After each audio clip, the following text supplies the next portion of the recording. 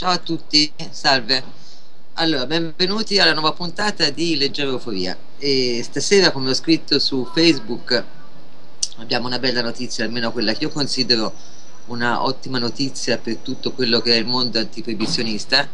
perché c'è stata una dichiarazione di tre capi di Stato, finalmente tre attuali capi di Stato e non tre ex presidenti come spesso era capitato precedentemente, cioè capi di Stato attualmente in carica sempre dei paesi latinoamericani, perché lì diciamo che si è mossa ultimamente di più quella che ha un po' la spinta alla divisione delle politiche ONU e delle politiche mondiali sulle droghe, e quindi la dichiarazione è di eh, i capi di Stato di Colombia, Guatemala e Messico, vediamo un po' perché c'è un messaggio, vediamo se Donato mi deve dire qualcosa. Togli l'audio alla pagina di Liberi TV, ma io togli l'audio.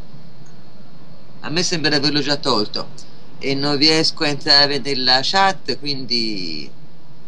più di così non posso fare. Allora spero che mi sentite. Io non riesco a vedere la chat perché come spesso accade non so come mai eh, non mi riesce di reinserirmi col mio account che è di Nadina. E quando siamo in trasmissione non mi riesce. Se poi anche Donato mi chiama su Skype per farmi messaggi alla fine non ci capisco più niente sì, ti sentono. Ok, bene, grazie. Allora, questi tre capi di Stato attualmente in carica, che sono il Colombia, Guatemala e Messico, e i nomi sono Calderón, Felipe Calderón del Messico, Santos della Colombia e eh, Molina del Guatemala, eh, si sono rivolti all'Assemblea Generale delle Nazioni Unite e quindi si sono rivolti direttamente all'ONU, diciamo facendo seguito un po' una serie di eh, comunicati, conferenze, azioni compiute attraverso sia la Global Commission che attraverso Droga e Democrazia, facendo seguito a una serie di azioni eh, abbastanza incisive, però forse un po' scordinate, che ci sono state finora sul fronte di un cambio di strategia nelle politiche sulla droga, finalmente eh, c'è stata diciamo, un'azione un po' più eh, strutturata istituzionalmente perché qui sono tre presidenti, tre capi di Stato attualmente in carica che si rivolgono all'ONU ed è una cosa che è destinata ad avere comunque un qualche peso perché non è che l'ONU può del tutto far finta di non rendersene conto. Questo è un tentativo di dialogo estremamente civile e corretto supportato da eh, dati, da evidenze supportato insomma da un'argomentazione e quindi eh, non potrà certamente del tutto eh, non tenerne presente un organismo eh, diciamo collegiale come è tutto sommato l'ONU e quindi si sono rivolti all'Assemblea Generale dell'ONU criticando apertamente la guerra, la guerra alla droga ed evidenziando l'urgenza di compiere una riforma a livello delle Nazioni Unite.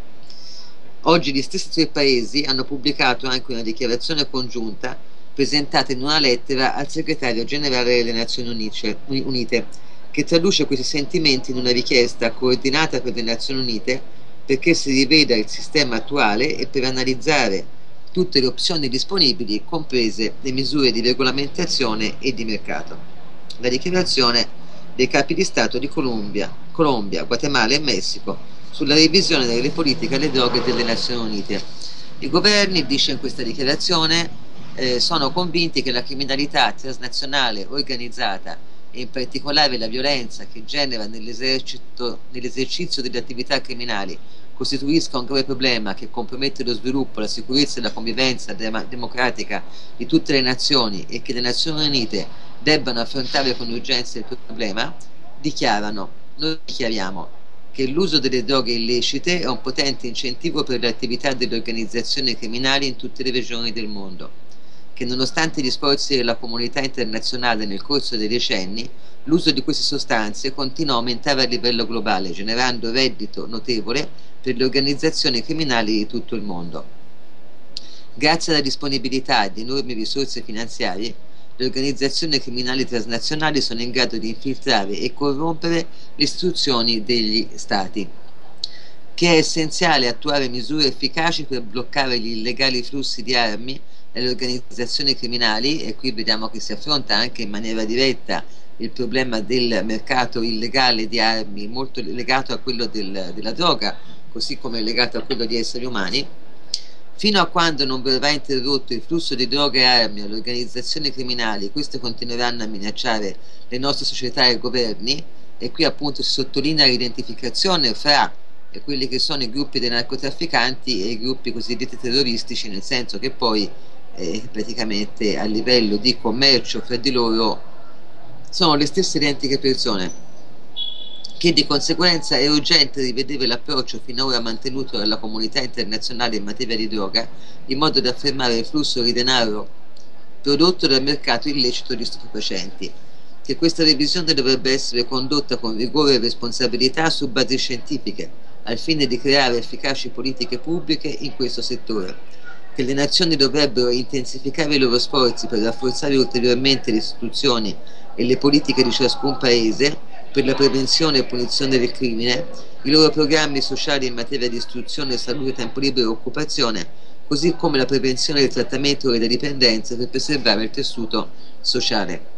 Che gli Stati dovrebbero confermare il loro impegno a combattere con determinazione e in base al principio della responsabilità condivisa e differenziata gruppi criminali transnazionali attraverso meccanismi di cooperazione internazionale, che le Nazioni Unite dovrebbero esercitare la loro leadership come da mandato per condurre una profonda riflessione per analizzare tutte le opzioni disponibili comprese le misure di regolamentazione o di mercato, al fine di stabilire un nuovo paradigma che blocchi il flusso di risorse al crimine organizzato. A questo proposito i governi della Colombia, Guatemala e Messico invitano gli Stati membri dell'Organizzazione delle Nazioni Unite, ONU, ad avviare al più presto un processo di consultazione che consenta,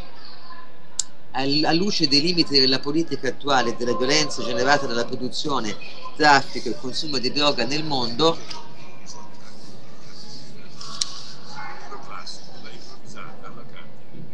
e crediamo che questi risultati dovrebbero culminare in una conferenza internazionale che permetta di ascoltare le decisioni necessarie al fine di realizzare strategie più efficaci e strumenti con cui la comunità internazionale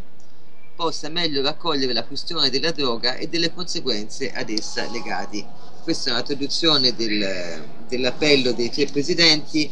che è uscita oggi anche sul sito del Partito Radicale Non Violento, Transnazionale e Transpartito una dichiarazione di due o tre giorni fa e, e sicuramente ci sarà un tentativo di eh, diciamo in qualche maniera silenziarla o non, eh,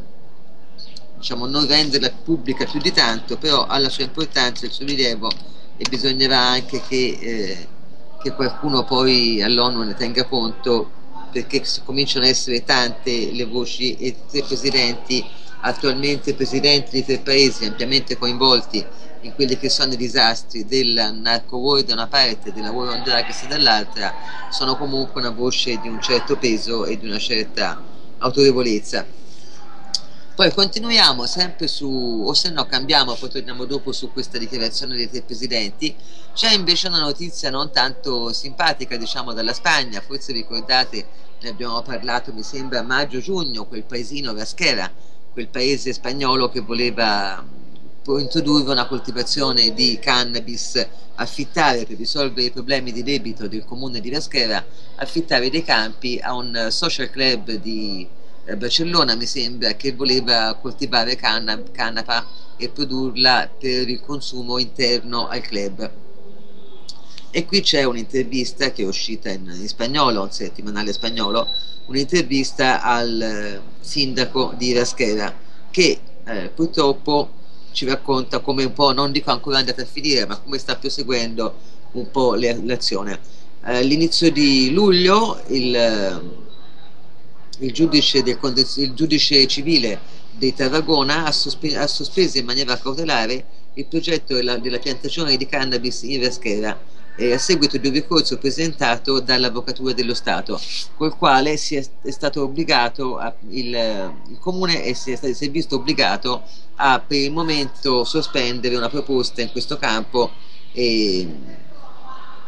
in questo, in questo, in questo, una proposta di questo genere. Così lo ha, lo ha confermato il sindaco di Raschera Bernà Pelissa che ha spiegato che da eh, già 15 giorni fa avevano ricevuto un'offerta da un'impresa svizzera che voleva piantare cannabis attraverso la partecipata municipale per estrarre essenze per la fabbricazione di birra e profumi e eh, purtroppo dice il sindaco tutto è paralizzato io non posso, già la quarta o quinta impresa eh, che mi chiede di eh, poter affittare questi campi oltre all'originario Cannabis Club di Barcellona, ma ci sono anche delle imprese delle, eh, sia olandesi che svizzere, racconta il sindaco in questa intervista, che eh, hanno chiesto di poter usare questi campi, purtroppo lui si è visto tutto bloccato e quindi non può per il momento sfruttare questa, sfruttare questa situazione. E eh, siamo in un, in un, processo giudiziario e vedremo come la classe politica affronta tutto questo, dice il sindaco, perché eh, il suo piano anticrisi basato sulla piantagione di marijuana continua a essere per lui principalmente un'opportunità economica. Eh, si parla tanto di economia e di strutture di Stato e bisognerebbe tener conto di una come di un'opportunità economica. Eh, d'altra parte ha ammesso anche il sindaco che finirà il suo mandato nel 2013 che il processo in corso potrebbe anche risultare annullare completamente il suo piano. E credo che una parte del una parte del, che deve essere una decisione politica bisogna affrontare questa realtà. Se le leggi attuali non sono capaci di affrontarla sicuramente bisognerà fare nuove leggi ha aggiunto.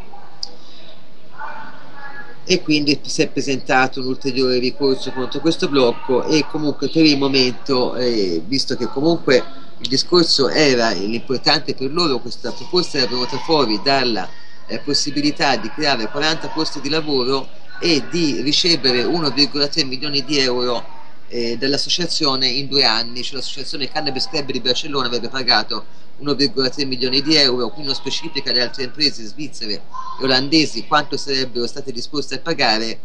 però molto probabilmente si parla di cifre simili che sarebbero servite a sanare completamente il bilancio dei, dei debiti del municipio che evidentemente sono molto alti e preoccupano molto il sindaco che giustamente aveva trovato questo sistema di potersi in qualche modo autofinanziare e automantenere. Allora, è poi uscito un... Uh, invece per quanto riguarda l'America, in America il dibattito sulla marijuana è molto attivo anche dopo il referendum californiano che purtroppo è fallito, però il dibattito è rimasto abbastanza attivo e sempre sulla spinta naturalmente anche di quello che viene un po' dal centro e dal Sud America, però anche internamente eh, specialmente avevamo già visto noi quest'estate il sindaco di New York e mi sembra il governatore dello Stato di New York che si erano schierati a favore della legalizzazione della marijuana insistendo principalmente sul fatto che eh, sul fatto che quello che è il proibizionismo di classe, cioè che alla fine poi eh, quelli che finiscono in carcere per due grammi di erba, la maggior parte delle volte sono persone appartenenti al, alla comunità nera alla comunità afroamericana, alla comunità latinoamericana, sono le persone diciamo già più svantaggiate che poi si ritrovano a subire le conseguenze maggiori e quelle più devastanti della guerra alla droga. E su questa linea Richard Branson, che è uno dei componenti della Global Commission ed è anche un dirigente della Virgin, ha rilasciato ultimamente un'intervista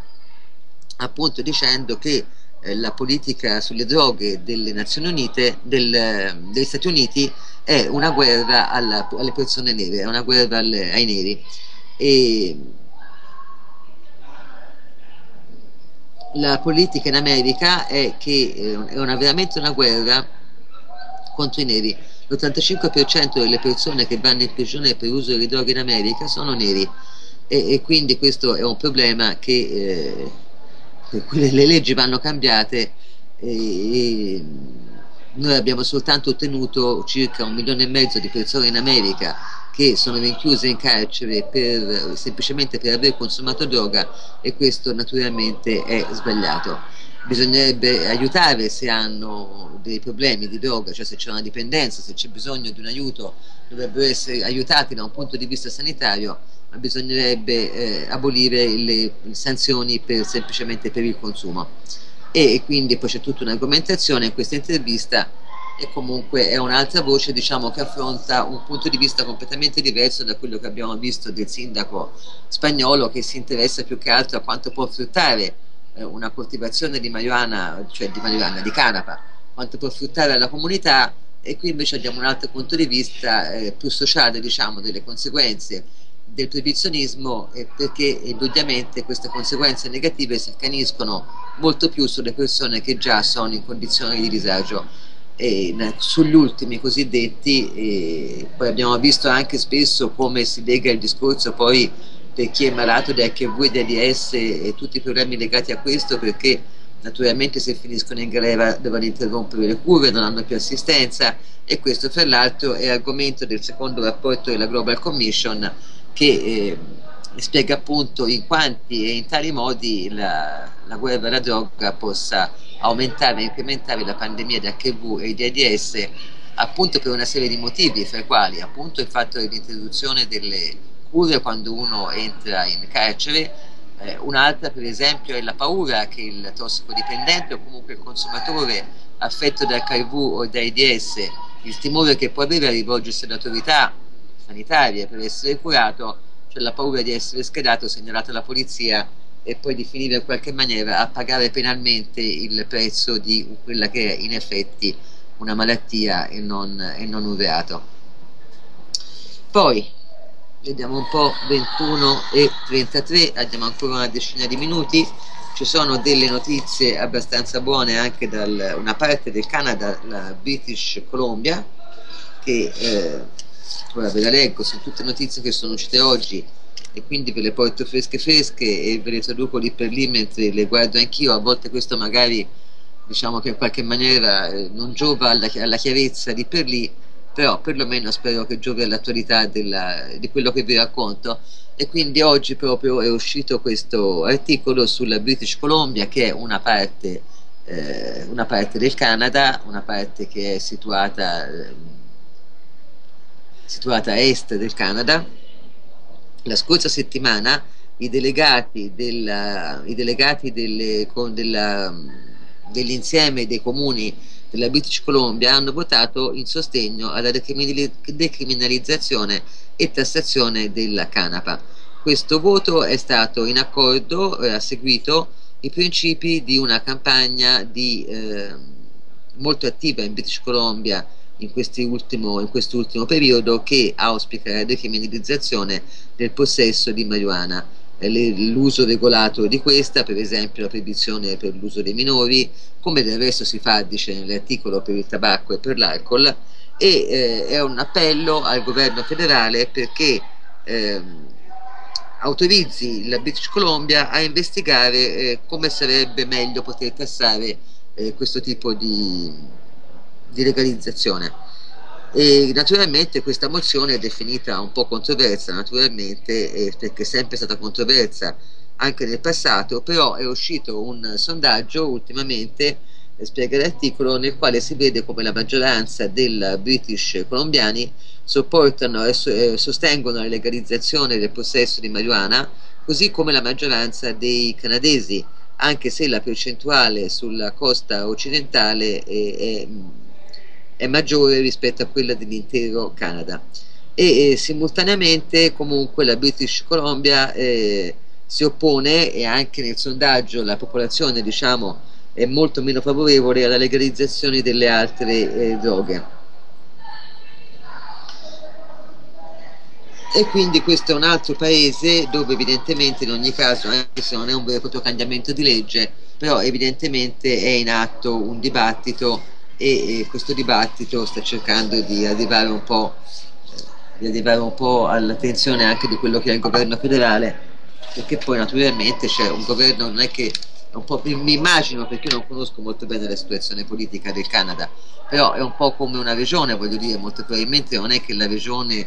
eh, della British Columbia può decidere da sola di cambiare strategie o politiche di questo genere però ha rivolto un appello così come del resto i presidenti su un alto livello, diciamo i presidenti appunto abbiamo visto Guatemala, Messico e Colombia, hanno rivolto invece un appello all'ONU e a un ente sovranazionale, c'è tutto un, diciamo un,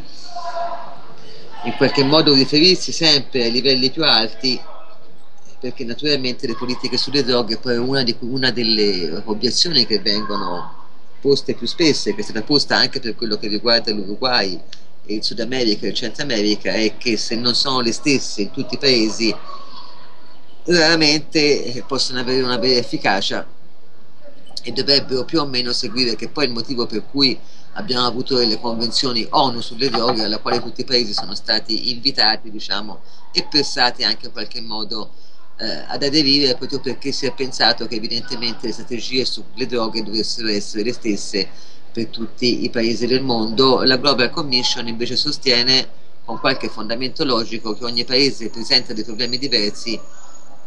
e quindi può ben essere lasciato libero anche di sperimentare diverse strategie e diversi approcci anche perché i paesi possono essere, tanto per cominciare, produttori o consumatori o di transito come prevalenza e questo già fa la sua bella differenza perché i problemi sono diversi anche se poi alla fin fine il fenomeno è lo stesso per tutti perché è un fenomeno umano e quindi riguarda un po' nello stesso modo eh, tutte le persone. Purtroppo in Italia, questa invece è una notizia un po' più sgradevole, c'è stato un fermo rispetto alla legge sulla cannabis terapeutica in legione, in, quella che era stata eh, fatta dalla regione Liguria, si era detto finalmente siamo già a tre leggi regionali, Toscana, Liguria, Friuli, Venezia Giulia, eh, però abbiamo visto che Friuli, Venezia Giulia in qualche maniera ha scontentato fortemente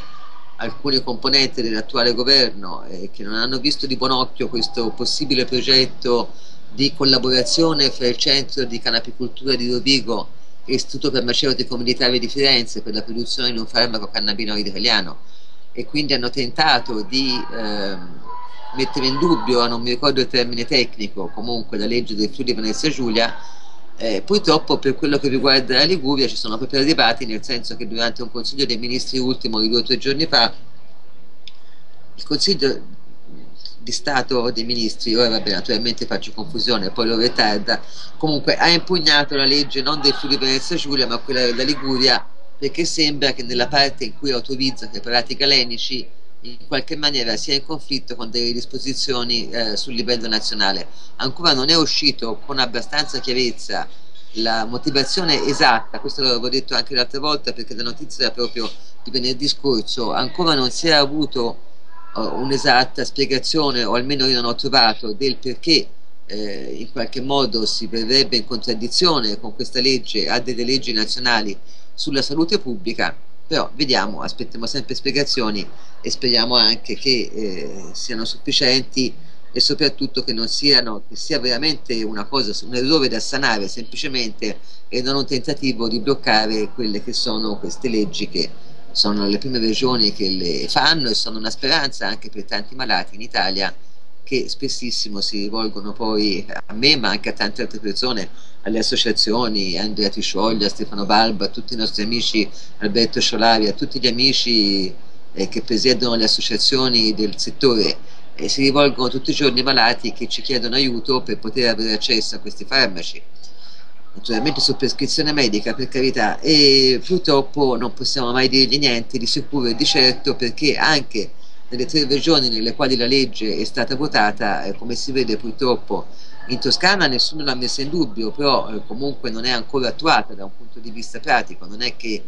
eh, sia facile nemmeno adesso che c'è la legge andare a Firenze in Toscana comunque e avere realmente accesso ai farmaci, è tutta una trafila abbastanza complessa ancora adesso. Vediamo che vengano addirittura messe in dubbio eh, due leggi regionali già, già approvate e quindi diciamo che un po' la preoccupazione è un po' tanta perché naturalmente sì, è una risposta, è, è normale naturalmente che ogni volta che c'è un passo avanti in una direzione ce ne sia anche uno in qualche modo indietro, è un po' come su un altro livello in Uruguay abbiamo visto la volta scorsa che c'è stata una proposta, anzi una legge praticamente già in vigore per la coltivazione statale a monopolio di Stato eh, della canapa, eh, si era rimasti che stavano discutendo se 150 ettari cioè lo Stato proprio ha intenzione di coltivare a canapa e di fornire ai consumatori la canapa proprio di Stato. Naturalmente c'è questa azione molto forte insieme con l'appello dei tre presidenti, anche questa è un'azione diciamo di un bel peso da parte dell'Uruguay, anche se è un paese piccolo, comunque è una decisione veramente rivoluzionaria in qualche modo. Anche se è un monopolio, anche se è un monopolio, quindi diciamo, possiamo fare tante critiche, comunque un passo avanti rispetto al proibizionismo, però immediatamente anche si sono levate eh, critiche, azioni contrarie, appunto la DEA che ha deciso di riaprire l'ufficio in Uruguay, oggi leggevo, poi non ho fatto in tempo a stamparla perché ho finito l'inchiostro purtroppo e poi non l'ho più ritrovata, la notizia di un alto ufficiale di polizia uruguaiano che dice no assolutamente non è vero niente che c'è non è vero nulla che c'è questa legge come se neanche esistesse, cioè ne nega addirittura l'esistenza. Quando è uscita fuori l'agenzia, da diverse agenzie, non da una sola, ed effettivamente invece la legge è stata votata e quindi evidentemente come minimo c'è un tentativo di resistenza a queste eh, politiche diciamo in qualche modo eh, rivoluzionarie da parte di alcuni paesi. Adesso sono le 21.43 a me dispiace molto non essere riuscita a seguire la chat però c'è sempre qualcosa che non c'è sempre qualcosa evidentemente che non funziona purtroppo e quindi non sono riuscita a seguire le domande perché non riesco a rientrare nel dell'account della chat, poi io quando chiuderò naturalmente ci riuscirò, sarà anche un affare semplice. Però diciamo come ultima notizia eravamo rimasti l'altra volta eh, che si diceva come poi di fronte a tutte queste spinte diciamo ragionevoli e di fronte a tutti gli evidenti danni che la War on Drugs ha portato e che ormai vengono riconosciuti a tutti i livelli da tutti quanti, eh, quello che si fa invece da parte del, degli enti diciamo antidroga e anticrimine è di magnificare grandi catture e imprese di, eh, nelle, quali, quali appunto si riesce ad arrestare persone che vengono definite dei, dei kingpin, che sarebbero proprio dei punti nodali della criminalità, criminalità organizzata in tutto il mondo. Quindi vi dicevo di tutta una serie di arresti che c'erano stati in Venezuela, non so se ve lo ricordate, ve l'avevo raccontato l'altra volta, è Loco con tutti i loro vari soprannomi pittoreschi che si sono dati. E l'ultima notizia era di lunedì ed c'era stato l'arresto di un, dopo l'ultimo signore del narcotraffico, il più grande trafficante mondiale del Golfo, no? dopo tutti questi che già erano stati arrestati, però questo era il definito ancora più importante il mega criminale galattico ed è eh, soprannominato El Taliban soprannominato il Taliban perché? Perché aveva imparato dai talebani la tecnica dell'uccisione per sgozzamento col coltello, che è una tecnica particolarmente cruenta e particolarmente dolorosa per chi la subisce, perché lo sgozzamento non è rapido ed immediato, ma viene eseguito con successivi eh, colpi di coltello. Vabbè, vi risparmio poi tutti i particolari che sono abbastanza trucidi, viene da ridere, però in realtà c'è pochissimo da ridere perché veramente la violenza che va di pari passo con, con il fenomeno del, della criminalità organizzata e del narcotraffico, cioè veramente fa parte proprio il crimine del commercio stesso in questo caso, quando si parla di commerci illegali è ovvio che intorno a loro eh, spandono una, una serie di, di, di ondate di violenza perché è un commercio del quale fa parte l'uccisione del concorrente, perché non si fa una concorrenza leale su quello che può essere il prodotto migliore, ma la concorrenza viene fatta su chi è più forte, chi ha più armi e chi risulta vincente poi in determinate faide, battaglie, eccetera, eccetera. E con questa ultima notizia, io direi che per questa volta, vabbè, continua, no, prima volevo anche ricordarvi che continua l'azione di Vita Bernardini che sta continuando a coltivarsi le sue eh, belle piantine in terrazza, in terrazza e nonostante che sia io che altre persone su Facebook abbiamo più volte messo addirittura l'album delle piante di canapa di vita sul profilo dei carabinieri, della Guardia di Finanza, della Polizia, di tutti. E nonostante questo evidentemente non interessa a nessuno, le forze dell'ordine hanno più interesse ad andare a prendere una piantina a casa magari di un ragazzo di 20 anni che ha provato a farsi una pianta anche semplicemente per esperimento che non di andare in qualche modo a indagare sul perché e sul per come una deputata dello Stato italiano, deputata del Parlamento italiano della Camera, abbia nel terrazzo di casa sua sette piantine di canapa. E quindi con, questa, con quest'ultima constatazione io saluto, vi do la linea e a venerdì prossimo. Scusatemi se non ho seguito la chat, cercherò di fare meglio la prossima volta. Ciao!